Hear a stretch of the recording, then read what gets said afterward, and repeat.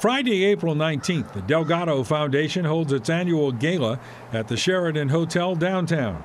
The roast of the town features Michael Hecht, CEO of Greater New Orleans, Inc. Delgado Community College Foundation President Lee Giorgio said the success of the event is critical. Last couple of years, we raised almost $800,000.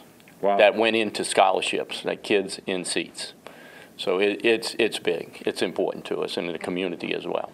Giorgio said scholarship money for Delgado translates directly into jobs for the greater New Orleans area. Community colleges is where the action's at for workforce development. I mean, we train people when they get jobs. We've graduated uh, in the last couple of years over 7,000 people. That's graduating and getting jobs. The Delgado Community College Foundation.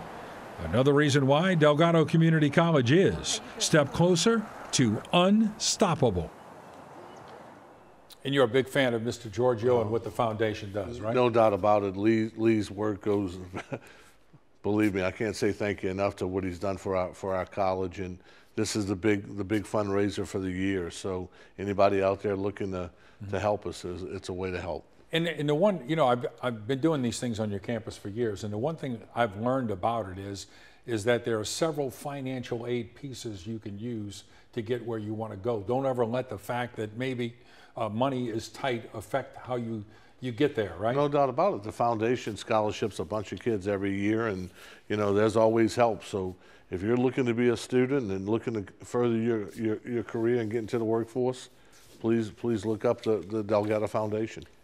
Saturday at Kirsch Rooney, doubleheader starting at 1, Nunez Community College and the Dolphins. Your take on this one?